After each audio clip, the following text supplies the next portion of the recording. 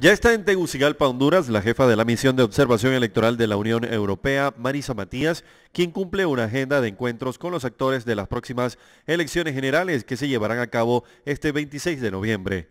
El presidente Juan Orlando Hernández recibió a la jefa de la misión de la Unión Europea. También está previsto que la eurodiputada se reúna con los magistrados del Tribunal Supremo Electoral de Honduras. La Unión Europea anunció que enviará una misión de 72 observadores electorales.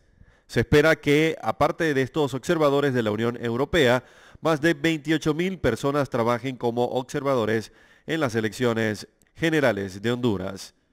Una semana antes de las elecciones llegarán los seis expresidentes que confirmaron ya su participación como observadores en las elecciones presidenciales de Honduras de noviembre próximo.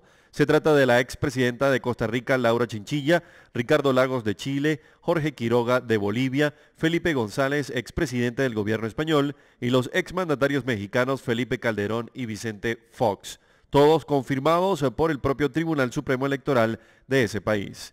También está confirmada la presencia de observadores de Estados Unidos, de Naciones Unidas, de la OEA, además de 9.000 observadores de organizaciones nacionales.